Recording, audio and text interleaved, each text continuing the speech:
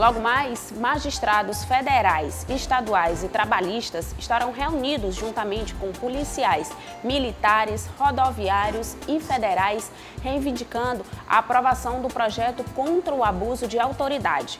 Eliese Rodrigues traz mais detalhes para a gente seguiu para a sanção do presidente da República Jair Bolsonaro o projeto de lei aprovado pelo Congresso Nacional que versa sobre o abuso de autoridade. A proposta interfere diretamente na atuação dos magistrados. Sobre o assunto, vamos conversar com o presidente da Associação dos Magistrados do Piauí, os juízes, o doutor Tiago Brandão.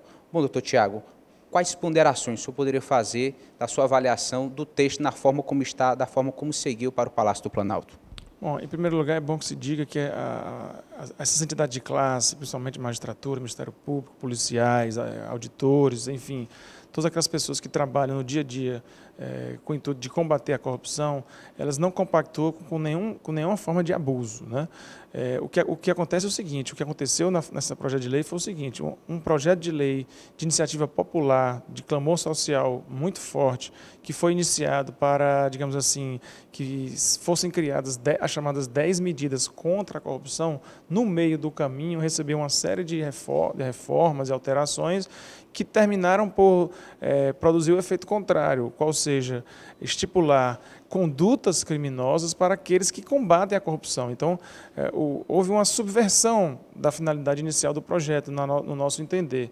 E isso deixa é, todos aqueles que trabalham com essas tarefas é, muito preocupados, por, porque não dizer revoltados, porque aqueles profissionais que no seu dia a dia estão fazendo o seu trabalho, de repente se deparam com uma, um projeto de lei que estipula condutas criminosas para quem esteja realizando seu trabalho. Já existe é, uma série de mecanismos de controle para eventuais abusos né, na esfera, nas esferas administrativas. E, os, e a, nós temos acompanhado na, na, grande mídia né, que esses, essas esferas administrativas, tanto nos tribunais como no próprio, no caso da magistratura, no próprio Conselho Nacional de Justiça, estão trabalhando.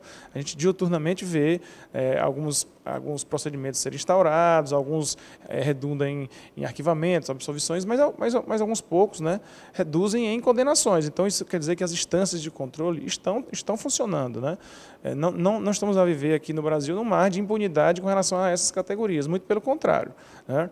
Então, na medida que o, essas, essas, instituições é, começam a entregar para a população um trabalho bem feito de combate à corrupção, é, na contra na contramedida, na, contra, na contramão, recebem um projeto de lei aí que está pendente de sanção ao veto que visa a estipular uma série de condutas criminosas para essas, essas categorias. Então, a gente tem, tem trabalhado junto a, a, aos segmentos sociais, a, na própria imprensa, e através desse ato público que vai acontecer é, aqui em Teresina, é, ao lado de muitos atos públicos que estão acontecendo no Brasil afora, né, é demonstrar o nosso inconformismo com esse tipo de, de acontecimento e pedindo né, para o presidente da República de vetar, para, para que ele vete esse projeto. Que ato é esse que acontece nesta sexta-feira aqui na capital do Piauí? Na sexta-feira, às nove da manhã, um ato público que envolve, uma série de associações de classe, é, de magistrados, de todos os ramos, estaduais, federais, trabalhistas, de membros do Ministério Público também, de todos os, os segmentos, auditores, é, delegados, é, a, própria rede de controle de combate à corrupção aqui do, do Estado do Piauí vai se fazer presente. Então, são, são categorias profissionais que estão tremendamente preocupadas com o rumo com que esse projeto de lei tomou no nosso parlamento. Muito obrigado, doutor Tiago Brandão, presidente da MAP, Associação dos Magistrados do Estado do Piauí. Volto com você no estúdio.